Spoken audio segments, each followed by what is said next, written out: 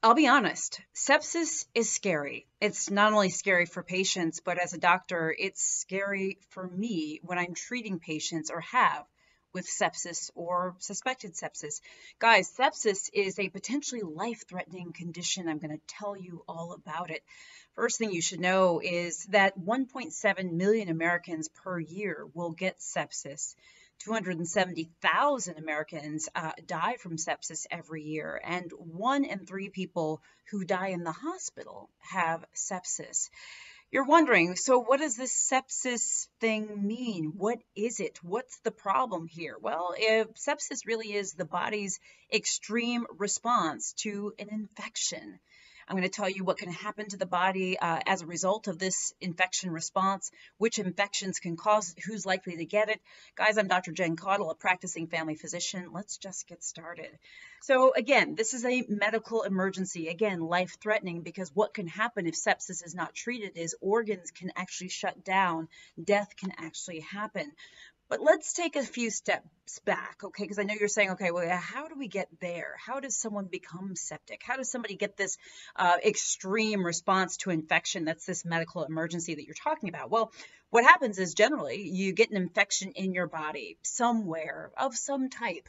Most common places uh, of infections that can sort of lead to, to sepsis, although theoretically any infection could lead to sepsis, uh, but uh, infections in the lungs, in, infections in the urinary tract like the kidneys, the bladder, uh, infections in the gastrointestinal tract like the stomach, the uh, the bowels, and things like that.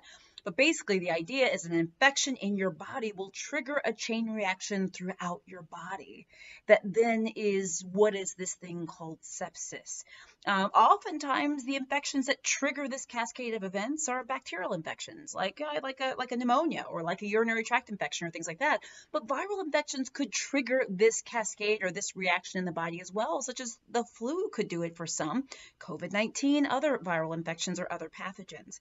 Um, and the idea here is that when one gets an infection, the infection is not stopped. Instead, the infection continues to sort of grow and sort of affect more and more and more, and the body responds to this, leading to something that we call sepsis. Okay, so the first thing to understand is I don't want you to take from this video that you should be afraid of every infection that you get. Remember, any infection that you get should be appropriately managed and treated by your doctor.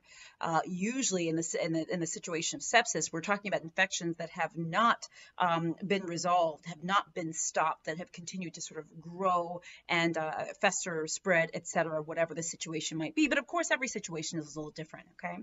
Um, uh, the other thing you should understand: people who are highest risk for sepsis are people over the age of 65, people with chronic uh, underlying conditions such as diabetes, lung disease, um, uh, cancer, kidney disease. Those with weakened immune systems, of course, uh, we, those with weakened immune systems are often at a higher risk for certain things than others.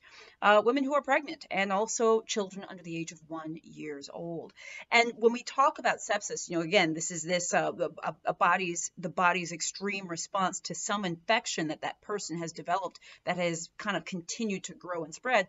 What happens is the body shows signs that lets us know it is in sepsis. Um, signs and symptoms of sepsis can be things like increased breathing, uh, increased heart rates or rapid heart rate, shortness of breath, being confused, sort of um, like really not with it, um, extreme discomfort, whether that's pain or discomfort alone, sometimes fever, uh, shivering, being super, super cold, or being sweaty and clammy. Signs that, that show that a patient is not doing so well. Um, and once again, as I said before, without treatment, sepsis can actually lead to uh, multiple organ failure. It can actually also lead to death. Now, the thing that's most important for us here is, you know, well, first of all, can it be treated? The answer is yes. Okay, sepsis is something that is treated in the hospital setting. Again, this is a potentially life threatening condition. If you are concerned that somebody is not right, okay? And you don't have to know what it is, by the way. It may not be sepsis, it might just be something else. But if someone's not right, you seek medical care, okay? Period. Um, but there are treatments for patients who have sepsis, this sort of body's response to an infection. Um, there are antibiotics. Uh, there's uh, ways that we can increase blood flow to organs to help uh, organs. Uh, IV fluids can be very helpful. Um, and uh, other medications that we might need to use to help that body deal with the infection and kind of uh, sort of regain control of itself, whether it's blood pressure medications or what have you. So there are treatments for it, okay? Uh, but I think the message here is that just know that sepsis is when somebody is super, super, super sick First of all, this is treated in the hospital. It doesn't mean that every infection will turn into sepsis, but it's one of the reasons why infections that we have, no matter where they are, need to be evaluated and treated uh, and, and, addressed by your doctor or a medical professional. Guys, I hope this is helpful. Um, you know, there are many famous people in the news that have gotten sepsis, that have been hospitalized with sepsis. You might know people yourself. Hopefully, uh, this is helpful for you guys. Guys, I'm Dr. Jen Caudle. I'm a practicing family physician and on-air health expert and video creator. I do daily videos, so make sure you subscribe to my channel and click the little bell for updates. Uh, make sure you keep it locked here. I'll be back soon with more videos. Thanks.